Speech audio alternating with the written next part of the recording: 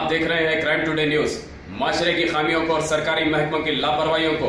उजागर किया जा रहा है। मैं M S Ali crime today news Hyderabad. शहर हैदराबाद। राजेंद्र नगर, चिंतलमेट इलाके के साकिन सैयद मुश्ताक हुसैन ने क्राइम टुडे न्यूज़ से मुखातिब होकर कहा कि चार महीने पहले हुमायूं नगर इलाके के मीना मल्टी स्पेशलिटी हॉस्पिटल में मेरी बीवी आफरीन बेगम की सिजेरियन डिलीवरी हुई थी। डिलीवरी के बाद चार महीने से आफरीन बेगम को लगातार पेट में दर्द हो रहा था और ब्लीडिंग भी नहीं रुक रही थी। तो आफरीन बेगम को फिर से मीना हॉस्पिटल ले जाया गया। तो वहाँ के डॉक्टर्स ने ऑपरेशन किया तो पता चला कि आफरीन की डिलीवरी के दौरान उनके पेट में गलती से टाके देने वाला तंगूस छूट गया था, जिसकी वजह से ना तो आफरीन के पेट का दर्द कम हो रहा था और ना ही ब्लीडिंग रुक रही थी। पर मीना हॉस्पिटल के डॉक्टर्स का कहना है कि आफरीन बेगम कमज़ोर होने की वजह से उन्हें ये तकलीफ़ हुई है। सैयद अरशद और अब्दुल खालिद खान के साथ मैं M S Ali crime today news Hyderabad.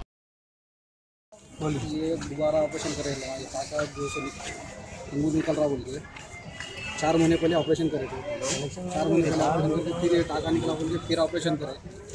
पैसे भी लिए फिर तकलीफ़ भी आ रही है अपने ये क्या काम दवाखाना चला रहे नहीं घर चला रहे कितना खर्चा है फिर अभी? कितना खर्चा अमाउंट कितना? Five thousand.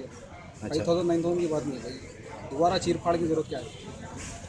तो गलती को एक्सेप्ट कर रहे हो लोग? नहीं कर रहे गलती का एक्सेप्ट क्या बोल रहे हैं डॉक्टर्स मैंने ये बच्ची दिखली है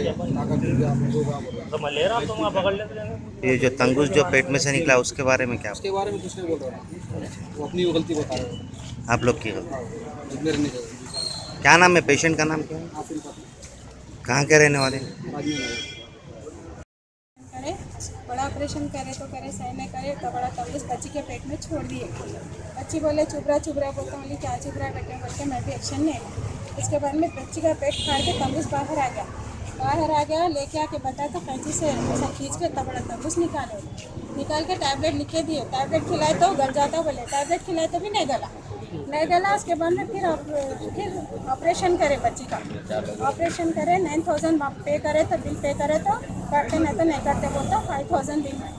तो न हो सकता बोल के फाइव थाउज़ेंड ऑपरेशन कितने महीने पहले हुआ था? तीन चार महीने हो रहा। चार महीने के बाद फिर से तंगूस ऐसा बाहर आ गया पेट के। अच्छा इतना बड़ा लुंडा निकला बोले बच्ची देखे हमारे डॉक्टर बताए तो। अब वो लगा क्या करे उसको सब हटा के करके खाली एक तंगूस के सर का रख दिया। सच की तलाश का नाम क्राइम टुडे न्यूज़ मुझे दीजिए इजाज़त, मैं एम एस अली